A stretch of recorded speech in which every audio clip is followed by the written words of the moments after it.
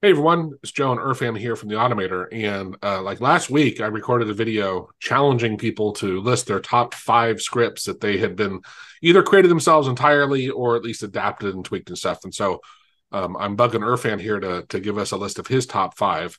Um, Irfan, why you so why don't you start working through your list here?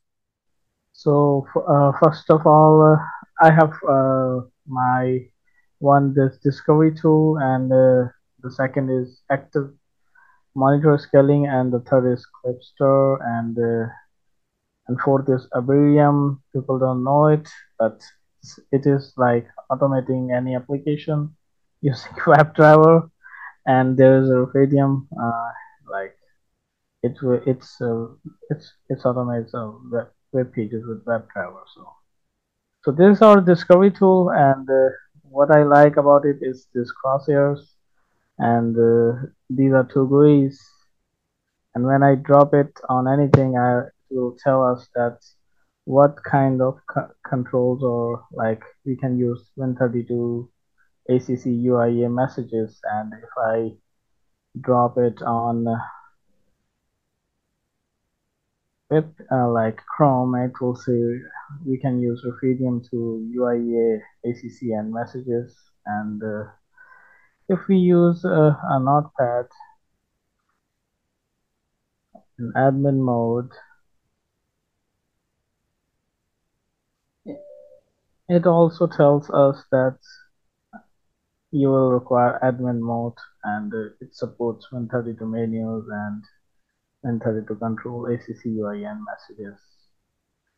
Uh, the next script Hold real, real quickly. This is one. If you guys aren't familiar with it, um, we, we have a download for it, but it's phenomenal. If you don't understand the approach you should take, you can take, I should say, um, for for automating a program. This one gives you kind of a guide, at least some of the top ways you can approach. No, you can't automate them. So sorry. The others, the this script is uh, active monitor scaling so right now I am on DPI 125. So for changing DPI, I have to go to the display setting, but but I can choose monitor and then change it. But with this tool, I have set like on active display scaling means the arrow where is the arrow is that will be the active monitor and when I hit this hotkey so I can switch to that DPI setting. So and uh, this is multi-scaling 175 I, I think 1 150 I suppose. This is 125 and uh, this is 100 I think. So this is very simple tool. Uh, it will change the DPIs and it will take or it's a good time to affect sometimes, but it will change the DPI right away. We, we might. The, I was just thinking about it. If we might use our notification class to at least put up a little display saying the DPI has been changed to, right? To let people know that, that might be a handy thing to add to it. But this one, I remember when you and Isaiah we were all working on it. It was really hard to get that active monitor right because um the na- the things that are numbers in AutoHotkey that they use aren't what the numbers yeah. are, and you guys dug around a lot to figure that out. Yeah, Isaiah and me researched it, and we, together we have some ideas, and we tried one and uh, uh, one and after another one, and then we just found the solution within within like ten to twenty minutes, and and we just implemented it. So there is uh, another script called Clipster. Uh, let me show you um, examples and I will run it. This, these are the examples and uh, I have to normal, I have to switch to normal notepad. So this script is running and what it does, we always use the hot strings, but with uh,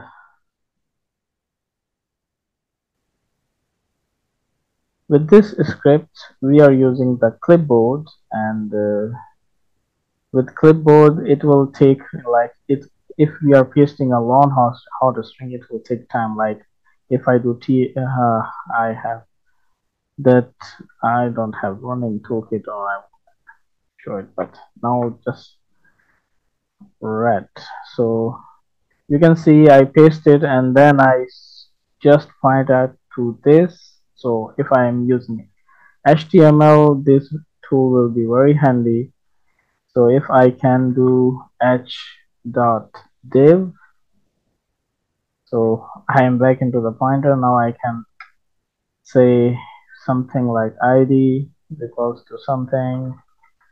So that will be simple to work with. And uh, if I paste, uh, if I want to use some locations like if I do run r dot location l for location dot hk and just it will send the enter to it and I will get to that location. So this is a very handy and simple script. So I'm using Clipster and I can also copy the bitmap so if I open uh, paint and uh, if I do p.ru just I'm just showing to showing to like now it's in my clipboard. And if I paste uh, if I paste um, p.ru yes. If I do p.ru it will directly paste the image. Uh, and my my clipboard is not gonna have something. So if I paste something like if I, if I want to paste something uh, clipboard is clipboard is empty. Like if I have copy some text. If I copy this and then do dp picture dot those. Ah sorry. I have to select p dot those. Then I have this image there but my clipboard has always been restored.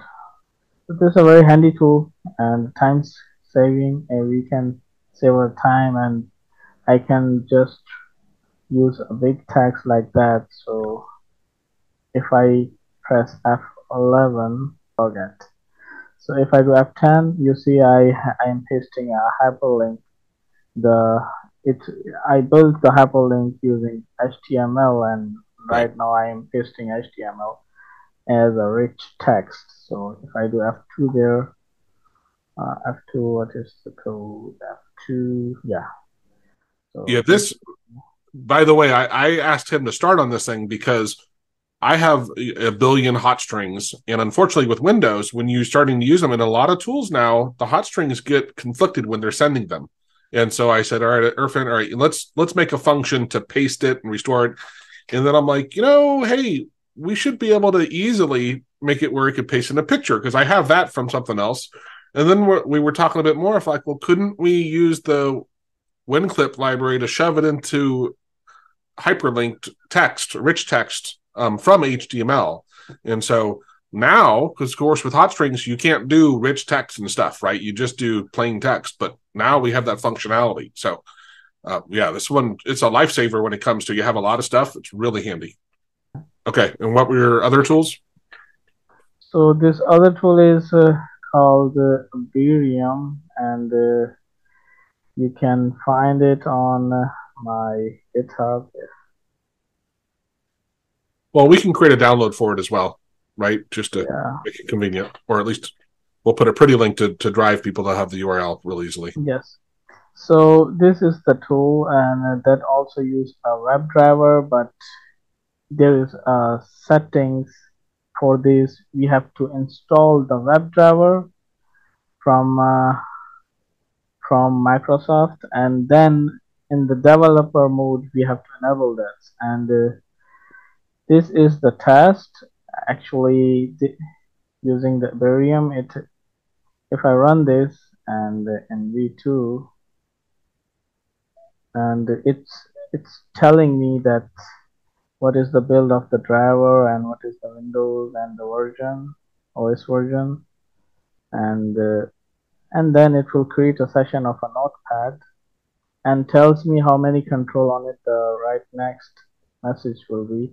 So these are the elements of this application. Uh, like we have created the session of this application and these are all the controls and we can we can use those controls like the access and like this edit control now I am accessing and then it will send text to it so testing app driver using Abberium and uh, testing yeah add new line. And these are the menus. I can also like I'm using query selector. If uh, let me just show you guys the code in this file yeah I am doing the get element select by control type and the menus and I am getting element by class names there are other methods too to, uh, to approach a met uh, how element. did you so how but how do you discover the those paths and and what you can access Actually, I was working with the Rufaydium WebDriver, and it has a standard uh, like APIs, and uh, it it is using web uh, WebDriver like Chrome driver, Firefox Gecko driver. These are all using a standard APIs call. So I was like developing Rufaydium, and I was like it was in my mind. So what's about looking for Windows app driver and it happened to be a thing and I researched it and it is using that standard APIs but little bit different and I re- read the GitHub page over so, so it looks like you created a tool to discover that dives into the program and will tell you what's available is that right? Yeah. Okay. and and we can also export the XML of that program. So in the end let me show you uh, when when this one finishes. Like I right now after that message box I will click the item 2 the file and then uh, then it will like trying to post something like escape or something so so I access this like I have access this and if I cancel this thing Okay, so it is looking for something. Comments not reachable. Okay, so I have just let me just rerun it and do not stop. So I'm getting elements. I can access the elements. I can uh, get the menus. I can click the menus and uh, uh, so what is I'm doing there so after I, I re-access this okay so I'm looking for the notepad but I I happen to have another notepad that is in admin mode mm. and that is not letting me have control on it so let me run this again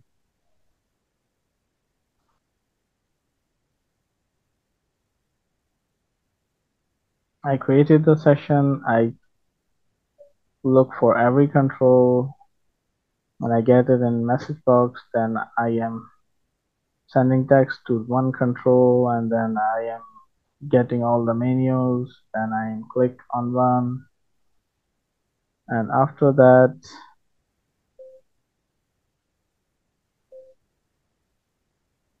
okay, so if I do save and then I have this XML file of this like this is about the source XML of that notepad. It's it is telling me all the details the automation IDs so it's kind of the DOM the, so to speak? the frame ID yeah DOM for the application. Yeah. it's kind of DOM for the application so you can see how many how much detail they put in it. And uh, there is some kind of class name we cannot approach with normal viewers. So I will create some kind of viewer later. Um, Actually, I have to learn more about it, and uh, it's like it's not easy, uh, but all right, let's get into the last one. Yeah. yeah, the last one is also my favorite one, uh, Rufaydium. So if I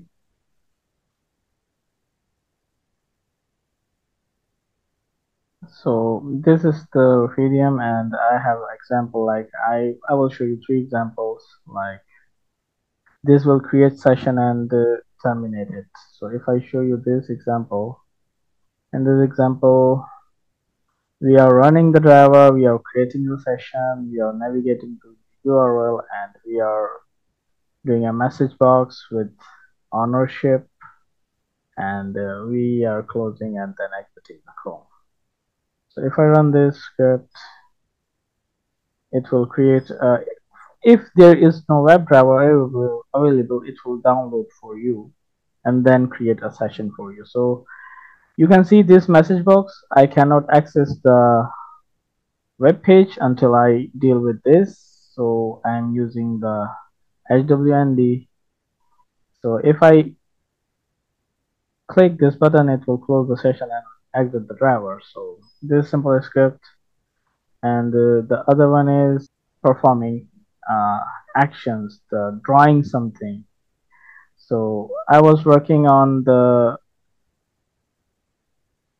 class that is like action AHK for Rufaydium and uh, I happen to build some really easy ways to perform actions on a web page. So this example like I'm just building a action object and then I will pass this action object on the page. So let me just demonstrate it with you. So this is the web page and I'm navigating it.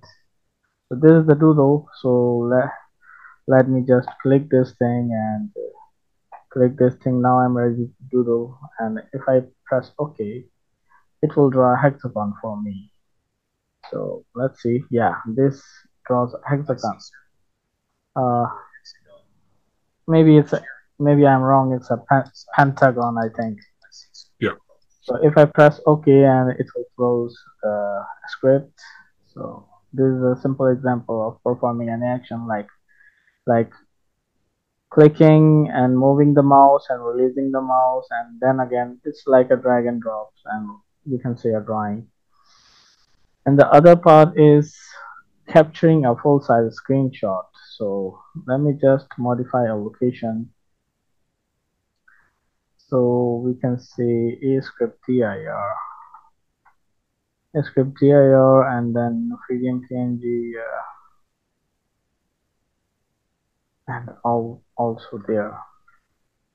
So it will create a png file but full size screenshot. So there's a trick to capture that full size screenshot and we have to call some devtool protocols calls to have extend the the capturing size from the web page. So this will navigate to the page and then wait for it to finish loading and then capture the screenshot. So so if I press OK it will exit and if I go to the folder like review folder file explorer. So this is my png if I run this and uh, you can see how long this web page is and I zoom it I can have every word and this is called you can easily get a full size screenshot of so this is Rufaydium and uh, and by the way uh, my daughter name is Rufeda Fatma and uh, my little one is, is is her name is Abira Noor so I name those WebDriver libraries after after after them. So that's Yeah. So to summarize Rufaydium, just so people do they totally get it, is with AutoHotkey, you can do web scraping when in we came up with nine different ways that you can web scrape. This one I think is the most robust when you need something that's doing a lot more than just adding a simple thing to a page or something. Rufaydium is a great tool to use for you have a very a more complicated goal um, and you need something that's going to be. He also has it where you can have profiles set up and stuff, so it logs in and does stuff. It's it's very robust. It, it's all using classes and objects, so you got to be familiar with those. It's not something if you're not used to web scraping or um, using classes and objects, it's not for you for that. But if you do understand them, it's a great solution for you. All right. So thanks, thanks, Irfan. Um, yeah, very cool stuff. Um, we'll we'll do some deeper dives into, especially your last two, of doing some training videos on how to use those things once we get going with them. But I hope you guys enjoy it. And if you guys have your top five list, I'd love to hear them. Have a great day. Bye. Bye.